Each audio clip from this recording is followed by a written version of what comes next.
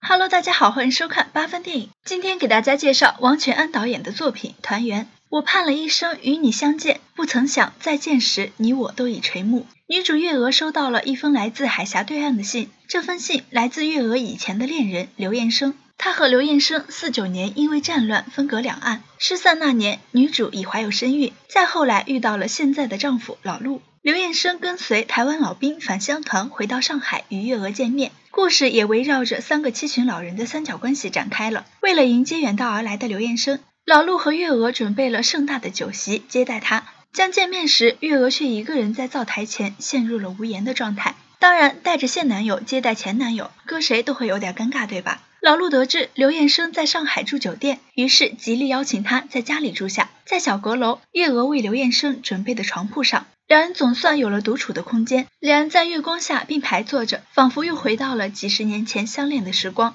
第二天，月娥和外甥女带着刘彦生在上海转悠，在坐火车的时候，两人的手很自然地牵在了一起。时间并没有让两人的感情变淡。月娥带着刘叶生到自己未建成的新房参观，两位老人相互扶持着爬上了高楼。外甥女借口要上厕所离开了，给两位老人腾出了二人空间。月娥告诉刘彦生，自己这几十年过得并不开心，只是活着而已。刘彦生表示自己要带她回台湾，并且财大气粗地表示自己可以在物质上补偿老陆。老陆为了款待从台湾回来的刘彦生，买了四只一百块钱的大螃蟹。本想和他提分手的月娥，看着如此节俭的老陆，为了刘彦生花了这么多钱，于心不忍。没能说分手的月娥又找刘彦生商量，两人决定一起和老陆说。没想到老陆特别的好说话，二话不说就同意了，只说月娥同意，他就同意。于是几人找来了几个孩子商量，几个孩子当然是不同意。月娥又表示自己为这个家庭活了几十年，在余生为数不多的日子里，想为自己而活。话都说到这份上了，几个孩子当然只能表示默认了。